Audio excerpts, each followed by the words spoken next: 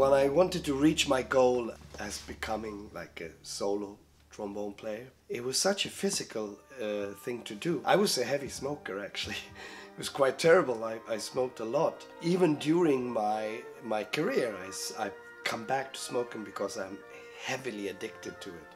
But I noticed that to reach my goals, the only way to take was to really take care of the body and really make sure gradually to find ways to strengthen it.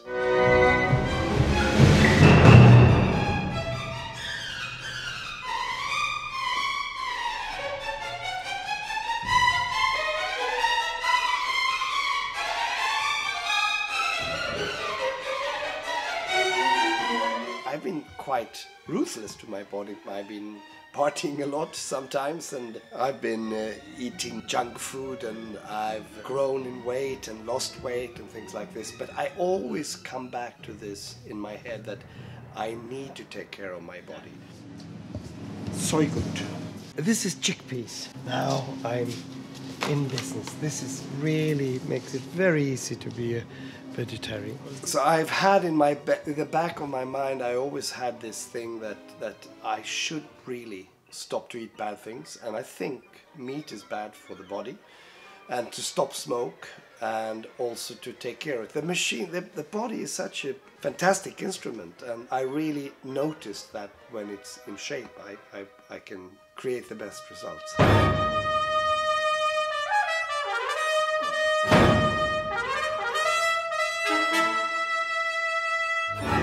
Overall, I think on a daily basis, the routine has to be don't toxic yourself with stupid things. I've really done lots of destructive things. I, I was six years old when I started to smoke cigarettes, and I was addicted when I was nine. I still, I mean, if I take one zip of a cigarette, I, I start smoking. My brain is, is destroyed in that way. But I know it, so, so I've, I've taken it out of my system. So I've, I've done very destructive things through my life. To stop smoking is one of the most difficult thing a human being can do. The three first weeks are terribly difficult. Once you get over the three first weeks, you're sort of in a good shape. Then you get rid of the most of the addiction. Then it's like one you say, okay, maybe I'm maybe I'm okay now. I can have one sip, and then that sip makes you your brain go back to it again. After one month, it's very dangerous. After three months, it's even more dangerous. And sometimes at nine months, I've started again. Now I've been out from it for uh, almost three years. I think there was a book by Allen Carr. I read it three times. I started again after reading it, but after having read it three times, it finally got into my system and I understand what it is. So now it's no problem. I enjoy being a non smoker so much.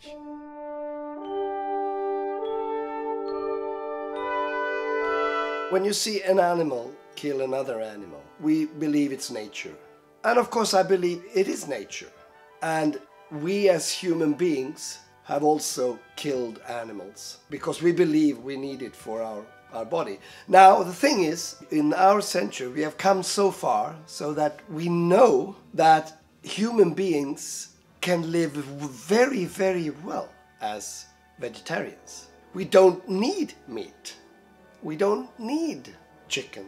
We don't need fish. Actually, it's clearly proven that we are healthier by eating ve vegetarian. When you eat beans and, and uh, plants and things like this, you don't feel this immediate heaviness in your body. You feel enriched.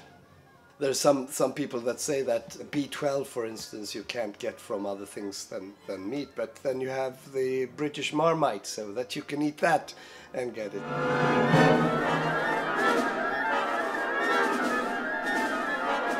We might be the species that are the most developed, but nevertheless, I believe it's quite clear that every living creature has the same right to live on this earth. And I really, I truly believe that we are connected. The fact that I am me doesn't mean that I'm not connected to someone else. If I let my ego go, I realize that I have great feelings when someone else, another living creature, is happy. And that is quite clear. So I, I really don't believe we, we are superior. To any other creature on earth. We don't have more rights to the earth than anyone else.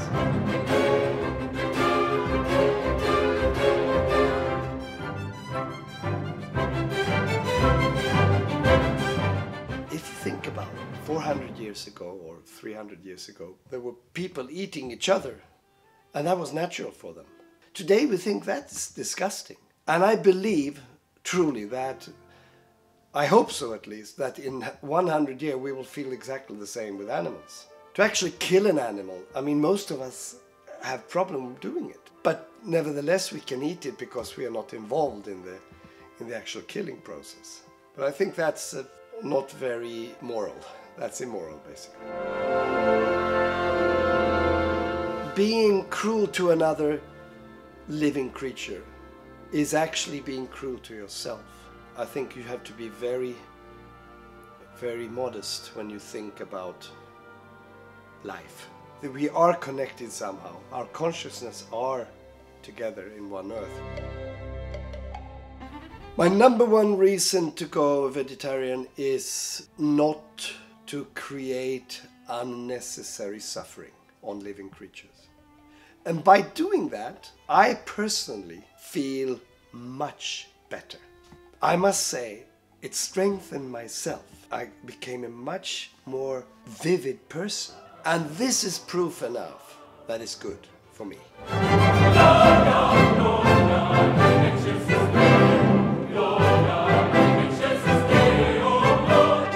I don't want to be a preacher.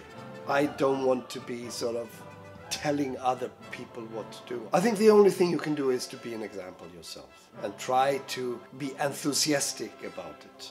There's really no argument against, only arguments for. It doesn't take much to change. And the more we do it, it's, it's a movement also. It's like more and more people understand. Look at what happened with smoking cigarettes. Everyone, I was a heavy smoker.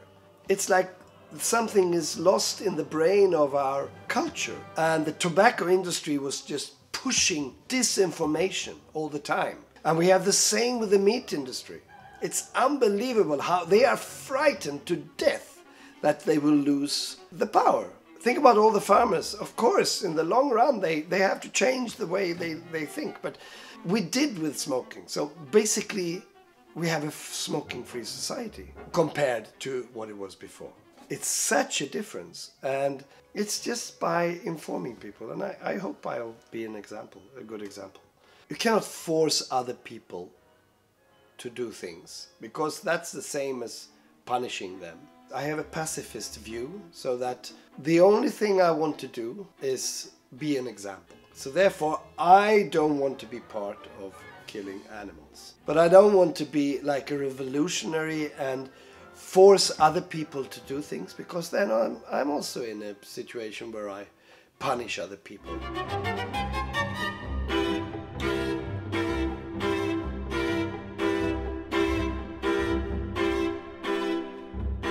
Once you fully understand that a habit is bad for you, then you naturally break it. I didn't fully understand the terrible thing about killing animals and eating meat. I'm sort of not fully aware, but I'm much more aware of the terrible thing. And being that much aware make me just lose the interest in eating meat.